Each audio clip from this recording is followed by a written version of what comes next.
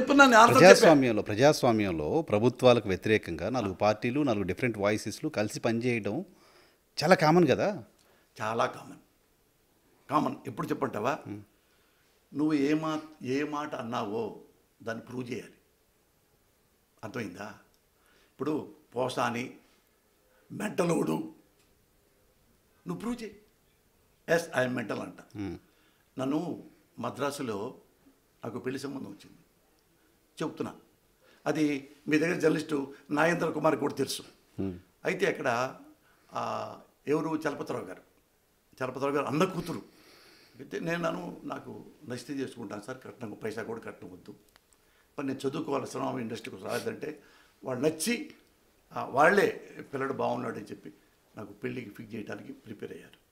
ఇది వేరే ఒకటి తెలిసింది. అమ్మో చలపతిరావు గారి ఇంట్లో సంబంధం అంటే వీడు ఎప్పటి నుంచి కుర్చీలో కూర్చుంటాడు?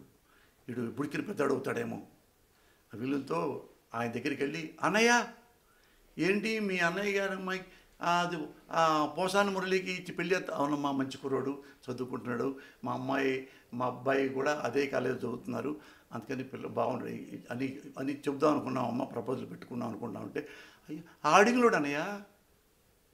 అయ్యో ఆడిగులోడు టక్కున ఆయన అవునా? అలా ఆలోచుకున్నాను అన్నయ్య మీకు తెలీదా? కొంచెం ఆడింగ్లోడు తల చూడ ఆడదాన్ని. ఇంకా అట్టించారు మీరు.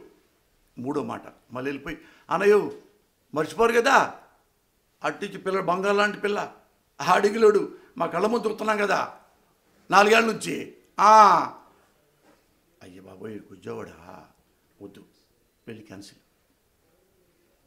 పెళ్ళి క్యాన్సిల్. అర్థమైందా? అడిగారా నన్ను? ఏమయ్యా? ఎవరో వచ్చి నువ్వు అడిగిలోడి వంట కొజ్జావాడి వంట అని అడిగారా? అడగల. బకరా బలైపోయింది ఎవరు? నేను. ఐదుడు మద్రాసులో ఉన్న ఐదేళ్ళు కొజ్జావాడిగా బతికా. యూనో ఇంత ఫ్రస్ట్రేషన్ నాకు ఎందుకు ఫ్రస్ట్రేషన్ కాదు ఇది. అప్పటి నుంచి క్యారీ చేస్తున్నారా?